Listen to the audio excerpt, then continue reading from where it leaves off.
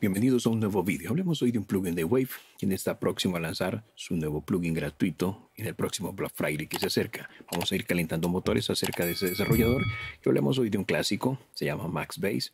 Es plugin enfocado entonces a la generación de sonidos graves, armónicos, bajos para darle potencia a líneas de bajo o a mezclas completas. Ese plugin crea armónicos que podemos agregarlos claramente a la señal y esos armónicos van a engañar al oído para que perciba frecuencias bajas que pueden no estar presentes realmente en la salida. Esta ilusión psicoacústica se puede pues, utilizar en procesos de mezcla o masterización para mejorar la respuesta en graves de cualquier proyecto musical en el que estemos trabajando. También podemos utilizarlo para mezclar para sistemas instalados como por ejemplo sistemas de sonido comerciales, parques temáticos, sistemas distribuidos al aire libre, sistemas estéreo personales y lo que se te ocurra. Para aquellos que se preguntan, ¿y esto cómo sucede? Pues recordemos que a pesar de que podamos escuchar un bajo desde un pequeño altavoz, no estamos escuchando la nota principal, la frecuencia fundamental. Eso se debe a que simplemente un altavoz pequeño no puede producir físicamente un tono tan bajo. Sin embargo, los armónicos del bajo provienen del altavoz y nuestros oídos interpretan esos armónicos y crea la fundamental faltante, donde lo hace dentro de nuestra cabeza. Eso es un fenómeno psicoacústico bien conocido y este plugin Max Bass lleva ese fenómeno al máximo y nos da pues el control del mismo aplicando este principio. Y con él logramos pues extender como de una manera virtual la respuesta frecuencial percibida de un altavoz alrededor de dos octavas por debajo de, de su limitación física. Bastante interesante lo que hizo Wave con esta herramienta. Inicialmente tenemos parte superior para rehacer y deshacer ajustes, lista de ajustes de fábrica que no puede faltar, varios presets allí que es un buen punto de partida para muchos. Te mueves entre los presets con estas flechas, podemos copiar ajustes entre dos estados A y B, hacer comparativas entre dos estados, guardar preset desde acá y desde este icono de hamburguesa jugamos con el tamaño de la interfaz, por ejemplo, accedemos al manual y demás información como puedes ver allí. Y tenemos entonces acá la sección de salida, el output, donde como puedes ver tenemos un clipper para limitar para eliminar esos recortes no deseados. Tenemos el búmetro que nos va a indicar esos niveles, cómo se están comportando. Y tenemos aquí para elegir la sección de monitoreo. Podemos monitorizar el audio completo, es decir, la mezcla de los armónicos que estamos generando con el plugin más el audio original. O puedes escuchar solamente el generador de armónicos del plugin, Max Bass solito sin el audio original. O puedes escuchar el bajo original. Con eso es bueno para comparar el bajo original versus el bajo que estamos agregando y luego cómo sonaría todo en conjunto. Junto a él tenemos estos fader para controlar el nivel de la ganancia de entrada al plugin, el volumen que estamos ingresando del audio. Podemos jugar con el nivel del bajo original, podemos hacer que descienda y en la gráfica puedes ver aquí en la pantalla el color, la línea azul, que por acá se convierte en verde por fusionarse con el color amarillo. Vemos la intensidad del el bajo original, podemos incrementarlo, reducirlo y el bajo que estamos generando con el plugin, los armónicos que estamos generando, los vemos acá en este color amarillo representados con esta línea amarilla. Con eso logramos el equilibrio perfecto para nuestras líneas de bajo o para los bajos en un proyecto musical en el que estamos trabajando a la hora de masterizar, mezclar lo que tú quieras. Luego tenemos por acá abajo la sección de armónicos, lo puedes ver acá. Esa sección está compuesta entonces por un high pass filter y por el control de decay. Este high pass filter nos permite seleccionar tres cortes de decibeles por octava, 6 decibeles el primero hasta 24. El primero, el de 6 decibeles por octava, elimina frecuencias bajas de los armónicos generados. Es un filtro que a partir de los 16 Hz hacia abajo, con este pendiente de 6 decibeles, empieza a ser entonces el corte, la eliminación. Todo ese componente de corriente continua y de muy bajas frecuencias son limpiados con esta opción de 6 decibeles por octava. Si elegimos el de 12, el segundo en este caso, vamos a filtrar la frecuencia que nosotros seleccionemos en el gráfico superior. La diferencia está en el corte por decibel, porque este de 24 hace exactamente lo mismo que el de 12, eliminar en este caso la frecuencia que seleccionemos, solamente que cambia el valor del corte, en este caso de 12 a 24. Va a ser más significativo el segundo corte que hagamos. Y por último tenemos esta perilla de decaimiento, puedes verlo allí entonces cómo se representa. Controlamos pues la tasa de decaimiento progresivo, o sea, el nivel de cada armónico sucesivo de la serie. Los valores más altos de decay cercanos al cero, por ejemplo, significa que el espectro armónico generado es más rico, lo que puede sonar pues borroso en algunos sistemas, mientras que los valores más bajos, que son números negativos, son más naturales para los sistemas de rango completo, pero es posible que no sean audibles en sistemas de altavoces pequeños. Lo ideal con eso es experimentar. Junto a él tenemos la sección de dinámica y podrás ya imaginar que la sección de dinámica hace referencia a un compresor, desde que usamos la relación. Con esta relación variamos la compresión de los armónicos que estamos generando. Este es un compresor ascendente, por lo que la relación en la medida que aumenta, el nivel de los armónicos también aumenta, pero con un rango dinámico disminuido. La relación que viene por default 1 a 1 no tiene compresión, por lo que los armónicos tienen exactamente el mismo carácter dinámico que el bajo original.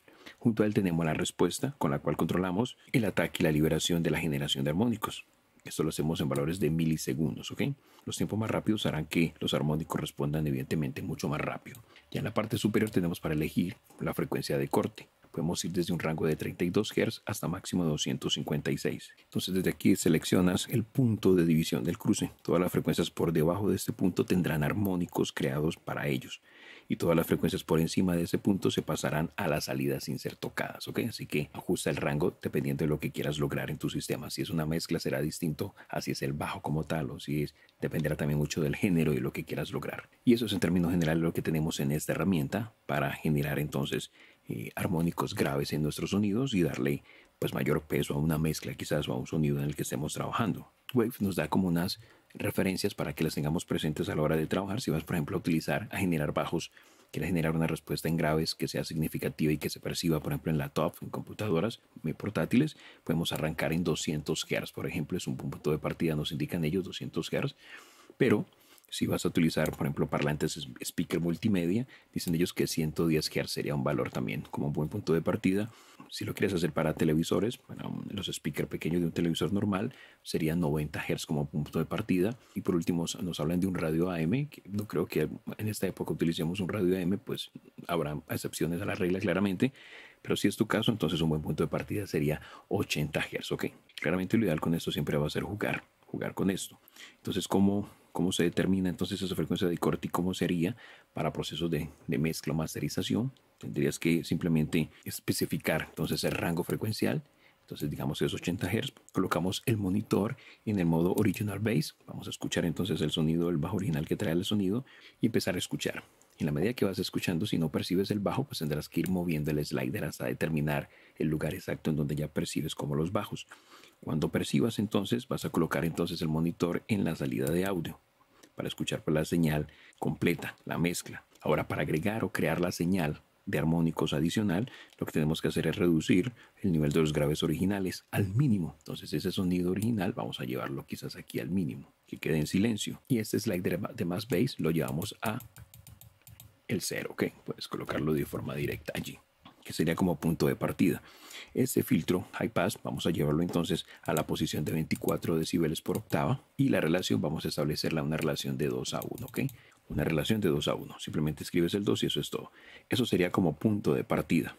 Y ya lo que resta es que juegues entonces incrementando el max bass en la medida que tú consideras o disminuyéndolo para percibir entonces para que agregues más armónicos graves a tu sonido. Es una manera de experimentar. Claramente puedes jugar luego con el decay para lograr un sonido más cálido, por ejemplo, con valores cercanos al cero. Ya lo que resta es que ajustes, por ejemplo, la relación para obtener un sonido de graves más suave. Podemos usar también el decaimiento ya para obtener un sonido más cálido, valores cercanos al cero, por ejemplo, como menos 10 es un valor óptimo. Hay que tener en cuenta que los valores de respuesta más altos también producen recortes internos.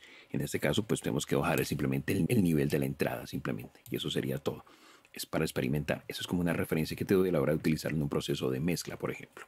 Vamos a escuchar esa belleza entonces en acción. Voy a cargar el preset que viene por default y tengo como referencia exactamente es una mezcla. Voy a hacer ajustes aleatorios y luego probamos algunos presets para que escuchemos lo que agrega este plugin, ¿ok? Así que vámonos con ello.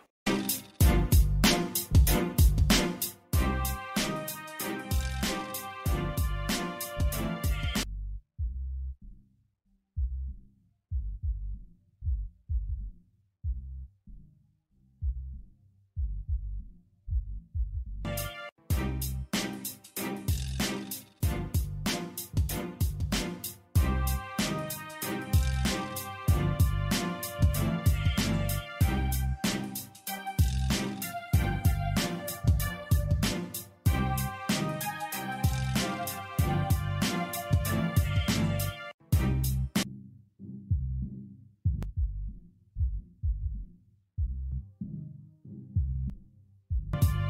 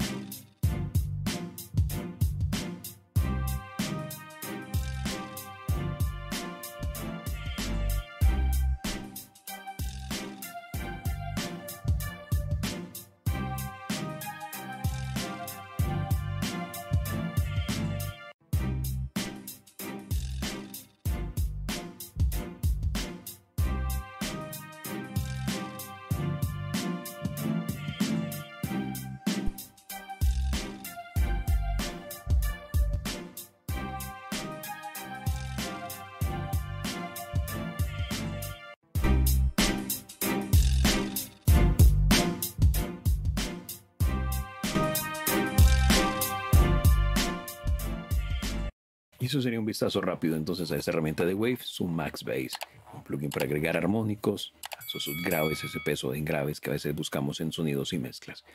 ¿Estás interesado en adquirirlo, en probarlo? Recuerda que estamos de promoción de Black Friday. Tendrás este plugin con un descuento súper especial a través del enlace que te dejo en la descripción. Así que corre por él ahora mismo. Te dejo enlace allí. Vete por esta increíble herramienta. Si adquieres dos, se regalan el tercero también.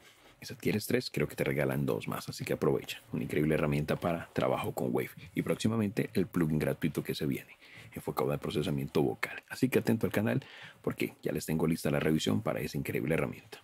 Yo con esto me despido esperando que la información compartida te haya sido de utilidad. Si así lo fue, quieres apoyar al canal, dalo a conocer a través del botón de gracias o a través del enlace a PayPal, ambos en la descripción.